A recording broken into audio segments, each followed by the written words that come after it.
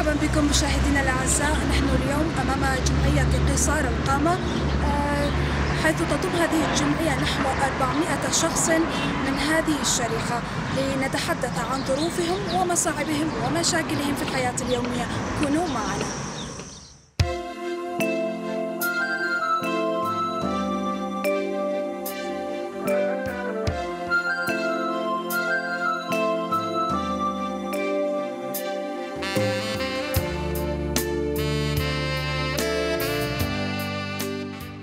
في هذه الجمعية التقينا رئيسها السيد دلشات الذي تحدث لنا بنوع من المرارة حول ظروف هذه الشريحة من النواحي المعيشية والاجتماعية. إن هدف الجمعية هو الدفاع عن حقوق قصار القامة وتحسين أوضاعهم. لا شك أننا نريد الاعتماد على أنفسنا. أعدادنا تصل إلى حدود 450 قصير قامة في أربيل ونسبة الإناث هي الأكثر من الذكور. وغالبا ما نقوم بدورات للأعضاء من أجل الاندماج في المجتمع ونسعى لكي يكون لنا تمثيل في البرلمان الكردستاني. لقد تمكنا خلال الأعوام الماضية من توفير فرص عمل لعدد من قصار القامة في الدوائر والشركات المحلية وقد خصصت حكومة إقليم كردستان رواتب شهرية لقصار القامة تتراوح ما بين 150 إلى 250 ألف دينار. قرابة خمسة آلاف شخص من قصار القامة في إقليم كردستان يجاهدون وبكل السبل المتاحة لإثبات حقوقهم وكسر الحواجز التي تمنعهم من الاندماج في المجتمع وممارسة دورهم مثل الآخرين.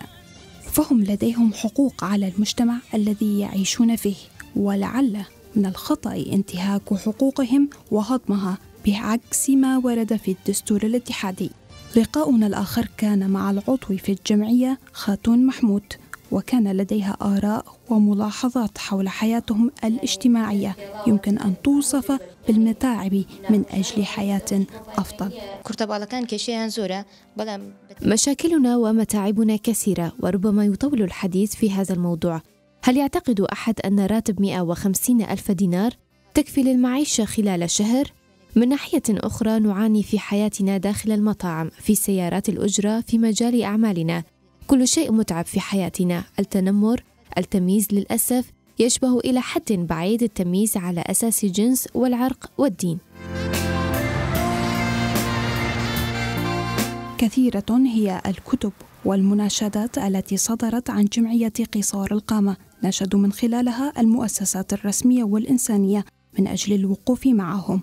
وما زالوا يسعون من أجل إيصال صوتهم حتى تستمع إليهم تلك الجهات وتنتشلهم من واقعهم الحالي.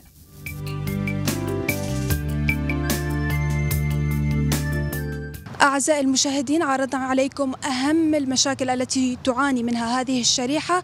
نتمنى من الحكومة والمنظمات الإنسانية والمجتمع المدني والجهات المعنية أيضا أن تهتم بهذه الشريحة لمستقبل أفضل وحياة أفضل. لبرنامج نسمات زاغروس زافين حسين أربيل.